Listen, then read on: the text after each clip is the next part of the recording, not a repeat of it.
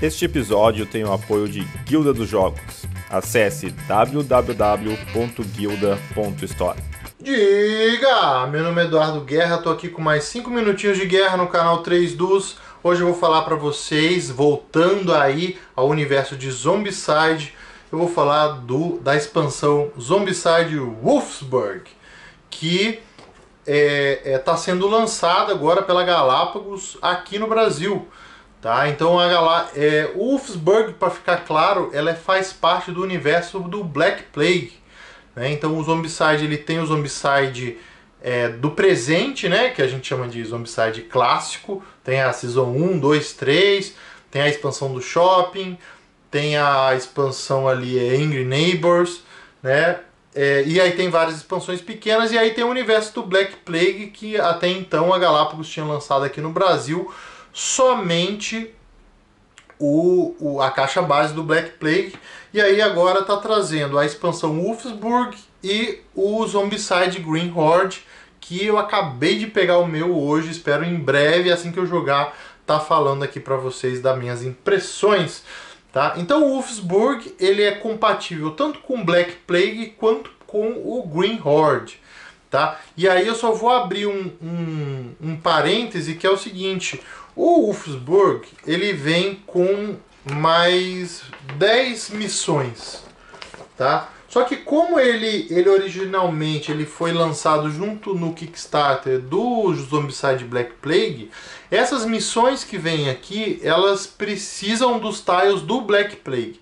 Então se você comprou Green Horde junto com Wolfsburg, você vai conseguir usar todos os elementos do jogo, porém aqui você não vai ter nenhuma missão que você vá conseguir jogar tá? Então, assim, é, eu espero que logo, logo, né, é, é, se você é, gosta de Zombicide, recomendo demais dar uma olhada nas missões que tem na internet, que para mim são as melhores missões que tem, para dar uma olhada lá. É, em breve acredito que deva ter missões misturando aí a, o Wolfsburg com o Green Horde. Tá? Então vamos ver aqui o que, que vem no Wolfsburg. Tá? Primeiro lugar, vamos falar. Ó, ele vem com quatro sobreviventes, tá? E vem com quatro daquelas cartelinhas que você. É, cartelinhas, não, aquele playmat de plástico que você precisa para jogar. Então você consegue expandir o jogo de seis jogadores para 10 jogadores, tá? O que é bem bacana porque você consegue é, colocar mais gente, tá? Ah, o jogo fica demorado, tem AP, beleza, mas poxa, às vezes você tem aquela galera que quer botar num jogo um pouquinho mais demorado. Pra mim é Zombicide. Eu já joguei com 10 pessoas, foi num corujão, foi super divertido. Tá? Todo mundo ali na missão, um tentando salvar o outro, foi bem legal. É, o que, que ele tem? Tá? Além, além desses, desses sobreviventes a mais. Ele tem um novo tipo de zumbi que são os lobos, tá? Quem, quem aí conhecia os cachorrinhos do Zombicide clássico é a mesma mecânica, tá? Se você achava os corredores, os zumbis corredores perigosos, os lobos são bem piores. Por quê?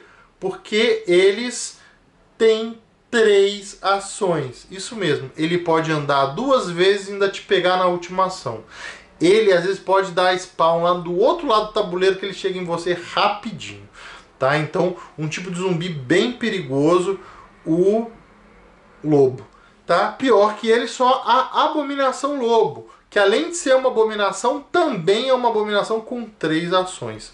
Bem perigoso. No Zombicide clássico não tinha uma abominação tão, tão ruim que nem essa aqui não tá? Então fique esperto aí com essa abominação lobo. É bom você ter alguma coisa na manga que se você não tiver, ela vai chegar em você rapidinho, tá? Mas o que que tem? Bom, tem que ter alguma coisa para ajudar os sobreviventes, né? E aí são alguns equipamentos que são armas mágicas, tá? Repare que nessa parte de cima, ó, a primeira pedrinha ali, ela tá quebrada, tá? Então significa que você só pode usar, por exemplo, esse equipamento no nível amarelo. Tá? Em geral, as armas mágicas elas têm um efeito especial aqui, tá? além do, das estatísticas de ataque. Então, por exemplo, essa daqui, esse arco aqui, ó, a cada seis que você tirar, você rola mais um dado. Tá? Esse daqui, ó, é uma adaga que conta também, também vale como se fosse um escudo, tá? E essa daqui, por exemplo, você pode descartar para fazer aquele efeito lá do, do, do fogo de dragão. Tá? E para fechar, né, ele vem com dois tiles, frente e verso, tá? com uma mecânica nova que é essa mecânica da escada. Tá? Onde você, por exemplo, pode estar tá subindo em cima de algum lugar né? E aí, por exemplo, para você chegar até aqui em cima, né? Você precisaria passar aqui por, por essa escada aqui, ó, fazer esse caminhozinho aqui, tá? Para poder chegar nesse ponto. Tá? Isso, isso aí dá, dá uma dinâmica bem bacana nas missões, que são justamente as missões que vêm aqui. Tá? Então, assim, se você tem o Black Plague, recomendo demais o Wolfsburg, ele dá uma boa incrementada ali no jogo básico, com armas diferentes, zumbis mais difíceis. E, e, e aí esses tiles aí que geram uma dinâmica diferente no tabuleiro. Mas, é, e se você tem o Green Horde, você está adquirindo agora o Green Horde, o Wolfsburg é legal também porque ele consegue adicionar todos esses elementos, só ainda não tem missão que mistura os tiles do Green Horde com o do Wolfsburg, certo? mas acredito que logo logo vai ter na internet. Certo? Tem alguma dúvida sobre o Wolfsburg, quer saber como funciona alguma coisa?